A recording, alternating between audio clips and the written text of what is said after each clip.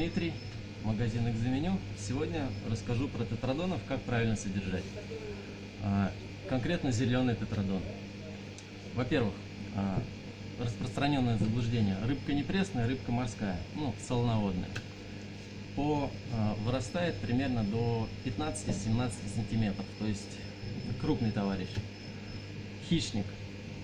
Содержать чисто в видовом аквариуме или поодиночке. Объем. Минимальный объем это на одну взрослую особь от 100 литров, желательно 150. Здесь конкретно 90 плюс 50 140, то есть впритык для одной рыбки.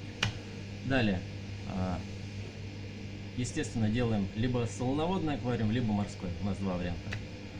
А, Для солоноводного аквариума хорошая фильтрация в виде очень хорошего внешнего фильтра на биологию. Температура 27 градусов, то есть грелка нужна по-любому. По свету смотрите сами. Солоноводным ничего особо не посадить, ну я имею в виду из растений. Так что любой светильник, который может рыбу подсветить.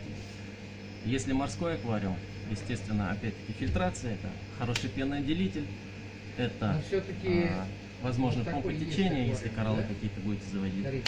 которым нужно течение. Ну и живые камни их тоже нужно продавать. В общем, минимальную какую-нибудь, самую махонькую крохотную помпу течения, если маленький объем берем. По свету, опять-таки, если неприхотливые кораллы, любой.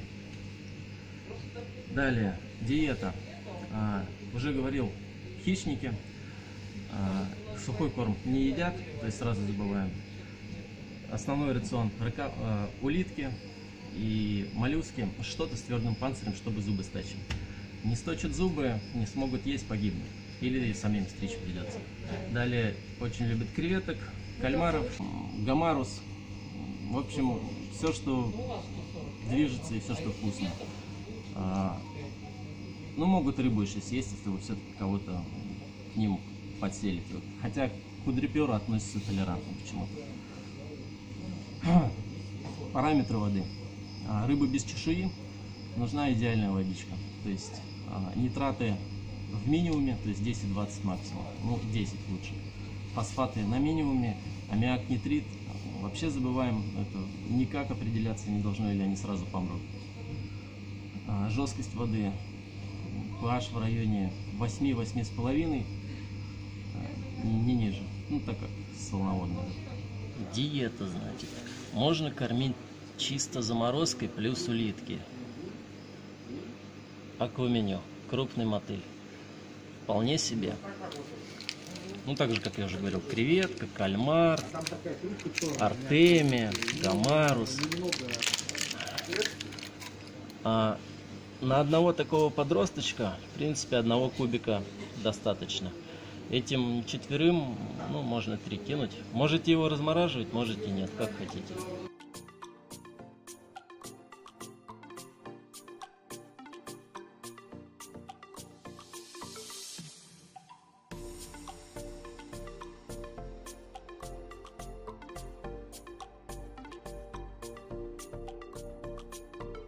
То есть аппетит у них большой, жрать они могут бесконечно много. А, перекармливать тоже нельзя. Кормить ну, 5 дней в неделю, 2 дня разгрузочных давать. А, если фильтрация и объем позволяют, кормите два раза в день. Если прям все впритык собрали по минимуму, то лучше один раз в день, чтобы сильно воду не грязнить. Ну и подмена воды, это обязательное условие, раз в неделю, 30%.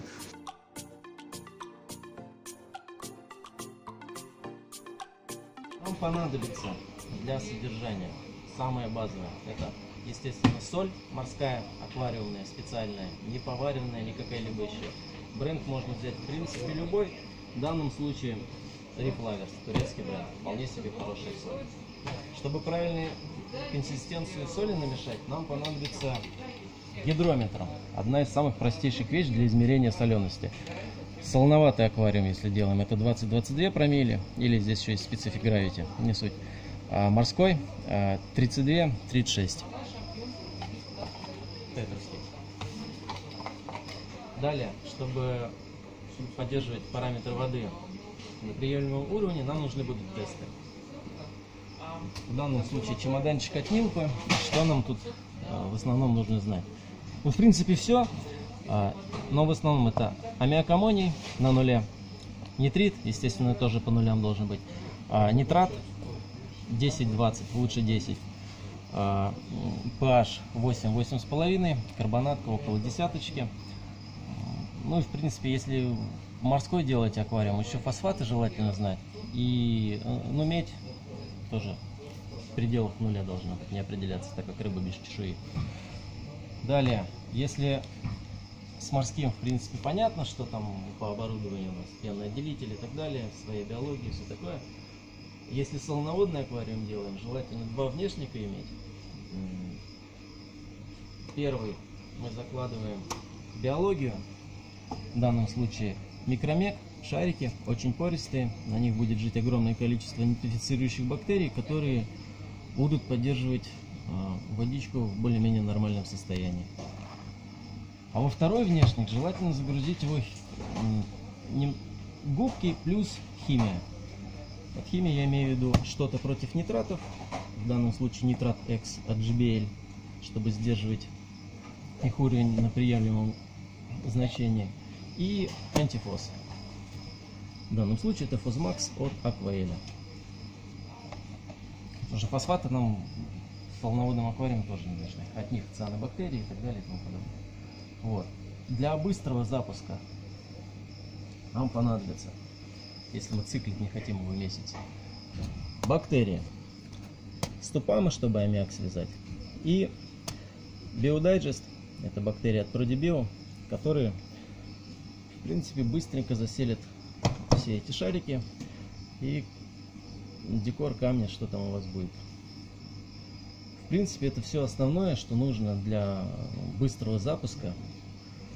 Единственное, если вдруг тетродон у вас чем-то все-таки заболел или покалечился, а он может покалечиться, потому что рыба умная, активная, везде лезет, может где угодно застрять. А никаких лекарств, которые содержат какую-либо химию или еще что-то, мы использовать не будем. В данном случае лучше ограничиться мелофиксом и пимофиксом от компании API. В принципе, все.